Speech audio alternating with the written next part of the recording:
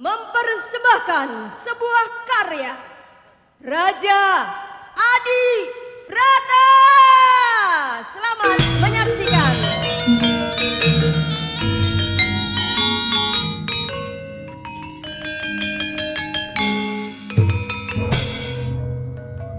Beraja Adi Berata Perilaku Tindakan Luar biasa Yang mampu menciptakan karya luhur Peradaban bangsa.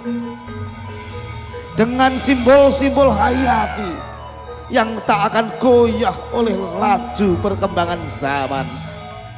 Maka Beraja Adi Berata dengan semangat bagai kilat laksana petir mencambuk memacu semangat patriotis Blitar. Inilah Pakoja Kota Blitar. Judul karya Beraja Adi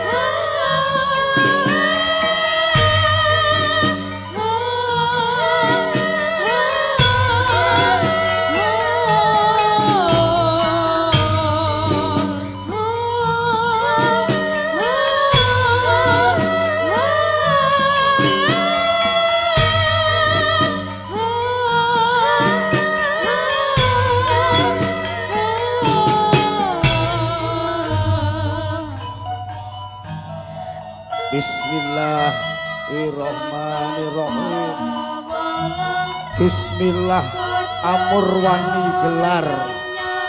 Gusti kang moho agung Gusti kang moho welas Gusti kang moho asih Gusti ingkang moho luhur Gusti ingkang moho kuwasa. Keparenga kawula Amurwani kanthi donga tulak balak Apa kala Pancabaya turun sih saka jagat wetan kang putih rupane nunggal sajiwa marang kutha Blitar pinaringan rahayu. Apa kala Pancabaya saka jagat kulon kang ijo rupane nunggal sajiwa marang kutha Blitar pinaringan rahayu. Apa kala Pancabaya turun sih saka jagat kidul kang abang rupane nunggal sajiwa marang kutha Blitar pinaringan rahayu. Apa kala Pancabaya turun sih saka jagat lor ingkang ireng rupane nunggal sajiwa marang kutha Blitar pinaringan rahayu Omo kala Pancabaya saka itan bali mengitan tirurak raja iman slamet Omo kala Pancabaya saka kulon bali mengulon tirurak raja iman slamet. Omo kala Pancabaya saka kidul bali mengidul tirurak raja iman slamet. Omo kala Pancabaya saka lor bali mengalon tirurak raja iman slamet. Bismillahirrahmanirrahim. Kutha Blitar rahayu rahayu rahayu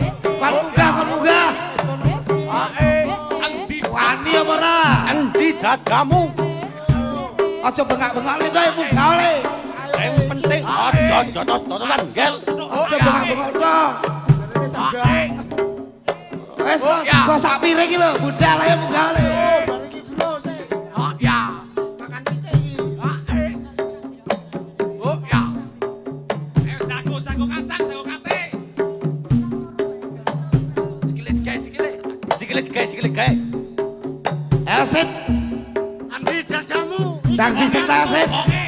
Tidak dampu, tidak dampu.